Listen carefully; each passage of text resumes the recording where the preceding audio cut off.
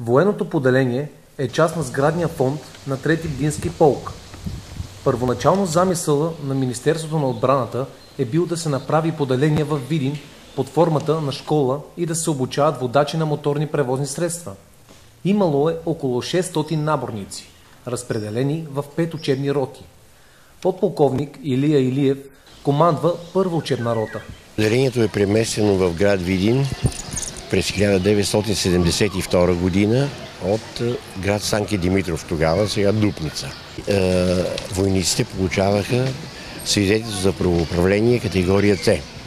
Обучаваха се марки от е, ЗИЛ 130, даже първите автомобили, които бяха дошли от старото поделение от Санки Димитров и от Гара Пирин, бяха ЗИЛове 157. И след това вече започна да навлиза по-новата техника. ЗИЛ 130, ЗИЛ 130 и едно в по-късен етап започнаха КРАС, Урал, МАС, а в годините някъде през 1980 и 90 година започна и обучението на школници на автомобил Татра. Тук се подготвяха войници, шофьори за нуждите на българската армия.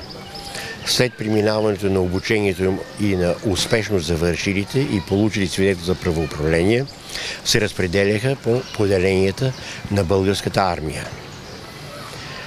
Поделението е наследник на сградния фонд и на трети Бдински полк. Голяма част от сградите и сега са запазени, но една част там, където беше стария щаб, с течение на времето и след 10 ноември сградата е разрушена. Останалите помещения са останали. За съжаление сега са в много недобро състояние. Министерството на отбраната дари войсковия имот на общината, но за толкова години нищо не се е направило, за да се съхрани и подобри този район. Последният командир на военното поделение на Видин е бил Стефан Цветанов, който малко по-късно го разформирова и затваря. След организационно-щатните промени, които настъпиха в българската армия и реорганизацията на същата, поделението, за съжаление, беше закрито. Сега поделението е публична общинска собственост, а общината в последните години го превръща в панаир. От август до септември Вместо военни команди се чува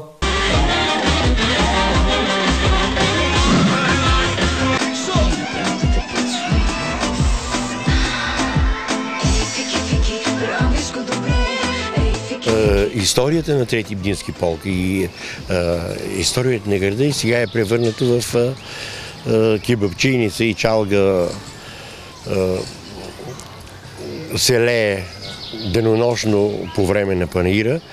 Въпреки разгрома, подполковник Илиев е категоричен, че нямаме нужда от наборна служба, а от инвестиция в професионалната ни армия. Не трябва да се връща наборната военна служба, професионалната военна служба, професионалната армия да да бъде по-добре обучена, да бъде по-добре въоръжена с нова, модерна техника, която е, ще бъде гарант за нашата национална сигурност. Военното поделение е време да се превърне в паметник на културата, а общината да го поддържа, съветва още подполковник. Само по този начин ще възпитаме патриотизма и родолюбието в подразващите.